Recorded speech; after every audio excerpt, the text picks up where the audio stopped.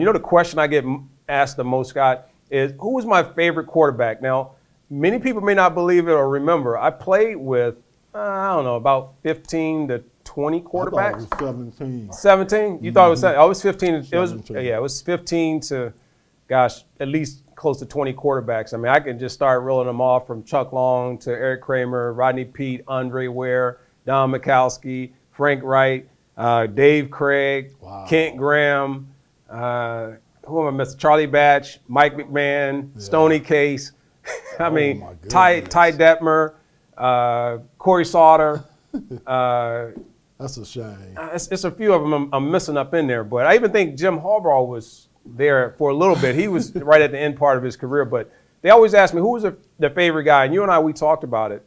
Uh, fans may want to ask themselves this: I went to four Pro Bowls. Three of those were one of those quarterbacks. Scott so, Mitchell. There you go. I supposed to guess who it was? yeah, yeah. I, well, I didn't know if you wanted to guess, but I know you pretty. You, you already take credit for uh, for all my Pro Bowl years, but uh, I can tell you this, Herman, and this this is this is the truth.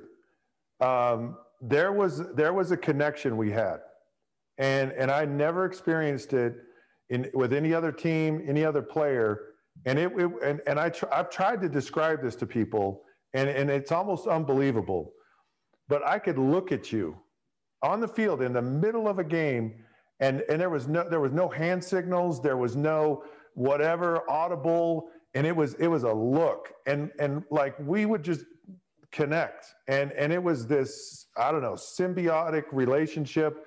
And i just knew what you were going to do and i knew you knew what i was going to do. And and and and it was it was uh that and you see these quarterback wide receiver uh, tandems and and how they have that connection and it's it's it's working with each other uh, uh you know for so long and then and then you have the opportunity to to kind of just play like it's not even a conscious way of playing. It's just it's just the strangest thing, but it was one of the coolest things I ever experienced. I know you know what I'm talking about, Herman.